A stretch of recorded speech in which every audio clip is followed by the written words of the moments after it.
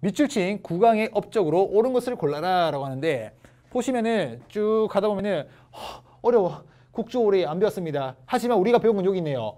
홍문관을 두었답니다. 홍문관. 홍문관을 설치한 사람이 누구였어요?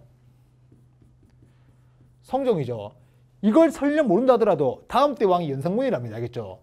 성종의 윤씨 부인의 아들 연산군인 거죠. 그러니까 이것도 성종임을 알 수가 있는 부분입니다. 됐죠? 국조오례의 동국 통감 이것도 문화사에서 다 배울 겁니다. 됐죠? 그러면 성종 찾아보자고요. 역분전 태조 왕건 태조 왕건이었고요. 장용영 아직 배우지 않았습니다. 정조 구주 오소경 뉴 신문왕 newspaper king 신문왕이었고요. 대동법 아직 배우지 않았습니다. 광해군이고요.